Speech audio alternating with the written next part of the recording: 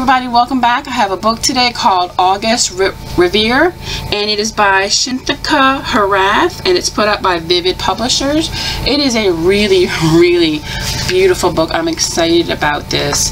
Um, in the back you can see a few of the colored pictures in here. Like this is the color side of this, this is the black and white side and you see a few of them that are inside the book. The book is um, it's it's copy paper but I would say little it's different because it's it's um, it's got like a smoother texture than copy paper or CreateSpace paper. It's smoother. And it is really shiny. I don't know if the camera will pick it up. Can you see the ink like the the drawings it's shiny. Everything is really shiny and smooth. So when I was coloring on it it went down so smoothly. I, I loved it. Um, this is your nameplate page. Look how beautiful it is. Let me see if I can get up a little closer. Right here we got an introduction. I wanted to show you guys um, up close. You can pause the video. Um, here's some places that you can find the, um, the art or you can join up on the Facebook, Instagram, Twitter, and even where you can email them. Okay. And I love this. I love this. I've never seen this before. This table of contents. Um, you got the picture of the beautiful Egyptian lady, but then like her necklace, it's got like chapter one, chapter three, chapter five, whatever, not chapters, but pages, I should say. And it's like in the shape of her necklace. Isn't that neat? It's different. I like that. Alright, let me just show you some of these pages.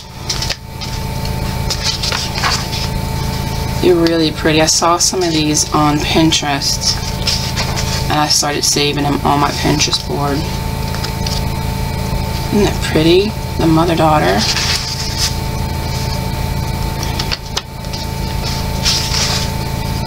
The peacock dress.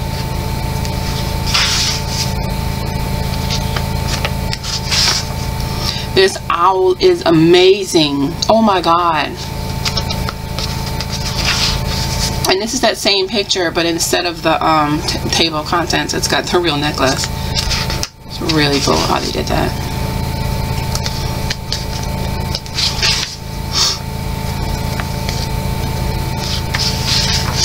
I can see a lot of um, Hanna Karlzon inspiration in this book, for sure.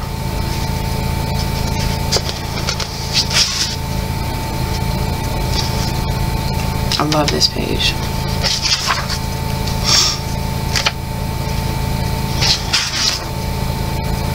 I love the lion. Isn't she beautiful? I like how you got the underwater and then she's popping out the water like that. The jellyfish. Pretty hummingbird. This is going to be so pretty when that's colored in. Just going to be gorgeous. I don't know if I mentioned they're single-sided, non-perforated. Look at the scales on her dress. Wow. This is the one that I started. I'm liking how it's coming out. I haven't really um, blended it in all that much. I just get a base coat down basically first and then I always go back and blend and but I like how she's coming out her face and everything. This is that same from the nameplate looks like. I love her eyes and this hair with the flowers.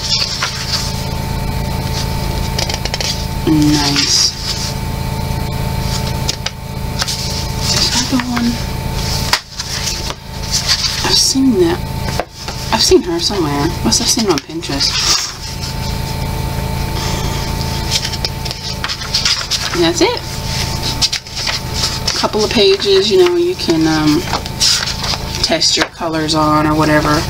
But um, I just think this book is gorgeous. It really, really is. This is what the spine looks like.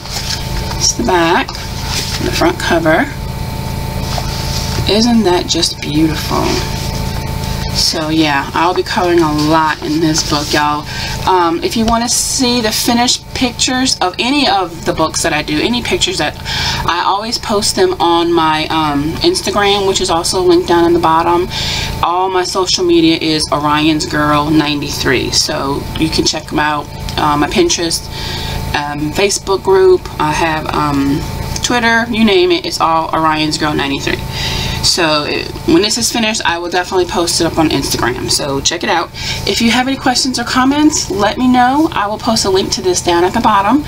If you haven't subbed, I would really appreciate it and hit um, that thumbs up for me. It helps my channel out a lot. Thanks a lot. I really appreciate you watching. Bye-bye.